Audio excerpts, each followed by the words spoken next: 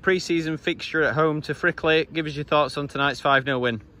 Um, I thought, you know, first 20 minutes we struggled to get to grips with him a little bit in, in terms of the way that they were playing out and, you know, we'd, we'd set the task of going and pressing high and, and getting round and I thought, you know, individually we were pressing but collectively didn't probably didn't quite get it right and once or twice they got away on the counter a little bit and, you know, a little bit more cuteness from them might have even gone 1-0 up at that point but um, you know, we, we, gave the instruction, tweaked a few things in terms of people going in there and making sure we're not over covering at the back and we, are getting in there and pressing through the middle when the front men set it off. And I think once we did that, you know, we forced them a little bit more direct and, and obviously Burnsy and Stacey from there are, are always going to win more 50-50s than the lose.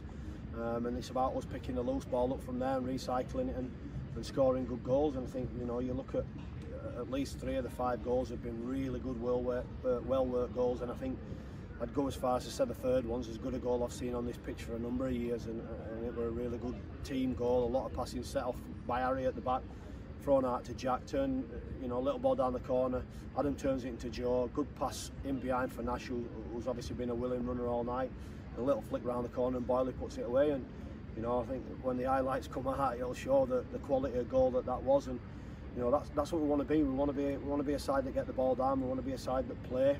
Um, but ultimately, when you do that, you've got to have a good structure behind what you're trying to do going forward.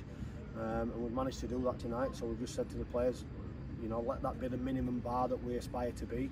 Um, and we'll always aim for improvement. And if we do that, you know, we'll continue. There is room for improvement, and we'll continue to try and find that.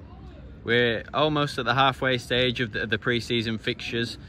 How pleased have you been with the start to that, and, and what are you looking for for the remaining games? I said last week we've probably pushed um, you know five or six players further than we would have liked at this point. You know I think there's I think there's at least uh, seven players now who's played 90 minutes and, and beyond more than once. So um, you know we're in a really good position. It's important that you know you, you, don't want to peak too soon. You might you want to make sure when the 5th of August comes you, you're hitting your peak. But you know a lot of players have played 60 minutes and beyond tonight. The ones who were on the bench will do the same on Friday. They'll come in and, and play the 60s and we'll reverse the game time and then from there it's about just you know settling a team down what we see moving forward and, and getting consistent performances hoping to it the ground running when the season starts.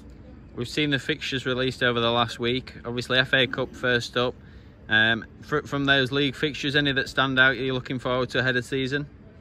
So you've got to play everybody twice, haven't you? You know, you're looking for fixtures coming out early and, and teams will be looking at certain teams. But, you know, someone asked me the other day if a team goes well last season. They don't have a divine right to go well this season. If, if teams were struggling down the bottom again, they'll not be, you know, there'll be teams that were down there who'll spring a surprise and are up the top end this season. So, you know, we've got to take everybody on an even keel, make sure we approach each game the same.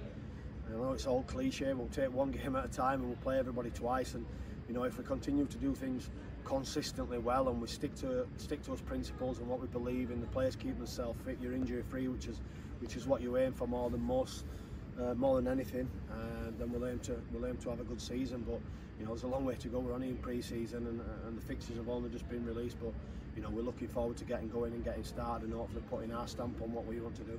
Brilliant. Well done.